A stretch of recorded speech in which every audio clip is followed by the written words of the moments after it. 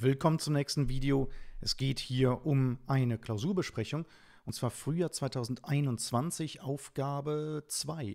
Ne? Umlaufvermögen und beim Umlaufvermögen sollte zum einen gesagt werden, wie es national handelsrechtlich geht und national steuerrechtlich, aber auch Aufgabenstellung C, wie es denn international handelsrechtlich hier ähm, klappt. Das heißt, wie nach IAS bzw. IFRS bewertet werden muss.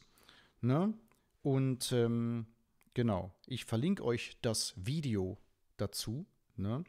Das Video zu der Eingangsaufgabe, wo ich also Ansatzausweisbewertung hier vollziehe und damit Aufgabenstellung A bespreche. In der Aufgabenstellung B hatten wir latente Steuern hier gemacht, so wie in der Klausur verlangt gewesen. Und jetzt Aufgabenstellung C soll sich dann drehen um die Vorratsbewertung nach IAS, IFRS.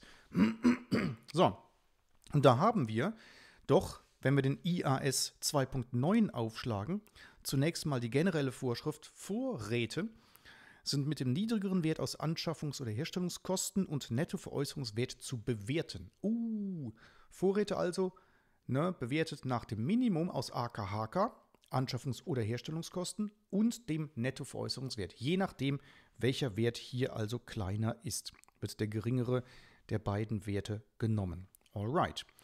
Sehr schön.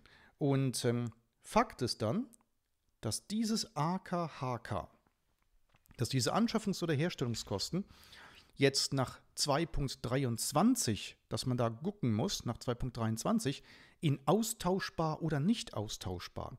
Sind also die Vorräte, die wir besprechen, austauschbar oder sind sie es nicht?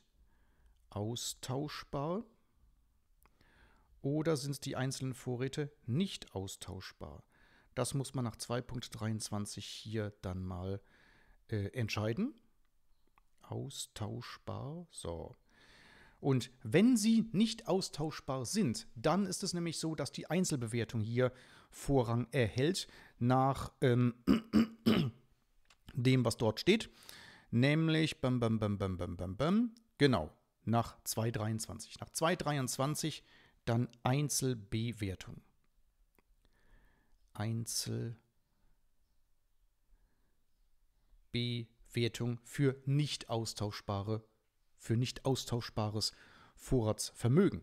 So, und ähm, dann steht dort in 225 hier AKHK von Vorräten, die nicht in 23 behandelt werden. Also solche, die nicht unter die Einzelbewertung fallen, die folglich nicht nicht austauschbar sind, sondern austauschbar. Ne?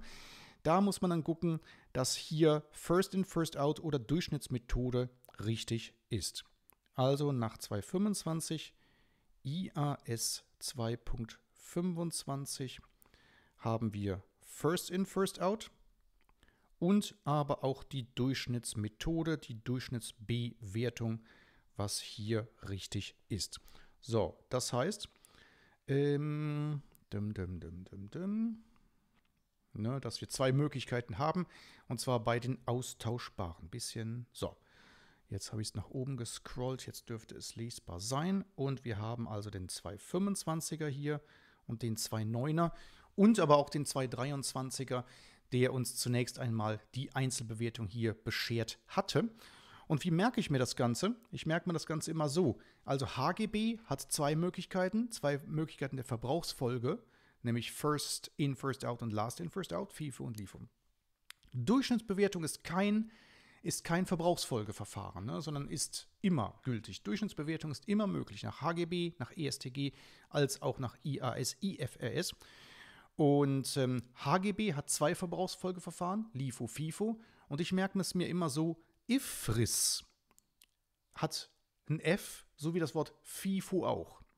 Ich meine, ist zwar hier ein IAS und nicht ein IFRS, das heißt, du kannst mir gern vorwerfen, dass diese Merkregel so geil nun auch wiederum nicht ist. Also sie hat kleine Widersprüche, aber die merkt man nicht. Ne? IAS, IFRS hat ein F, genauso wie das Wort FIFO. Deshalb IFRIS, FIFO.